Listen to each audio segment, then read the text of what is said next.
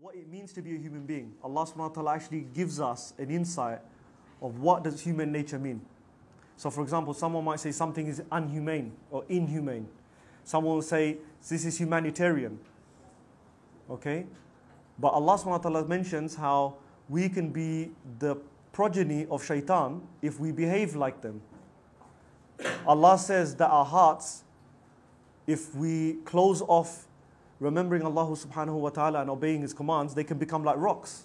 That's not human. Allah subhanahu wa ta'ala says that the people who follow their desires are like animals. That's not human.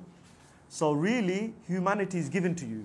What is human, Allah gives you what is human. If you decide what is human, what is inhumane, you'll find that we're, we're going to enter some problems.